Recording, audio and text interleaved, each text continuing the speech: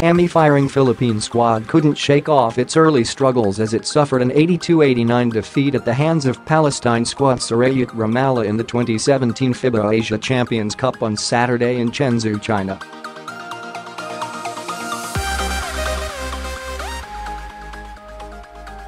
The Philippine Five went misfiring for most of the first three quarters as they fell behind by as many as 15 with Jamal Abu Shamala waxing hot for Palestine.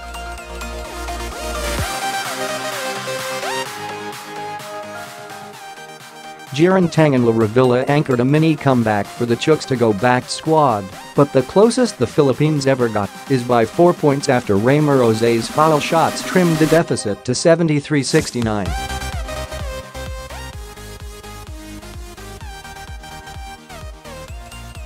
Palestine, however, retaliated with fire as Habash and import Tony Weeden fired back-to-back threes to give Sareyyet a 79-69 lead with 4.38 to go and never looked back.